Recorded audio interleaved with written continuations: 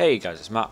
So I was playing Guild Wars the other day and I found a pretty cool trick to get quite a bit of gold so I thought I'd make a video on it and show you guys. Right, so first of all you want to go to the human starting zone and go to this tree here, go up to the base of it and jump three times. Right, so you'll need to have a sickle for this step. After you've molested the tree, find the closest onion patch and gather them.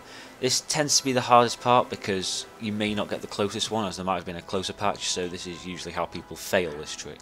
Then you want to go to the centre of Divinity's Reach and type in this short code that I'm typing in at the moment and say it out loud. Then, close the game, go to Google, search for Bonk Atomic Punch and click I'm Feeling Lucky. So now you should be on the TF2 wiki, scroll down to the very bottom and close it because it has nothing to do with Guild Wars. Then you're going to want to reopen Guild Wars. Go back to the tree that you went to at the start and jump another three times. If done correctly, a troll face should appear on the screen for a brief second and a sound effect will play.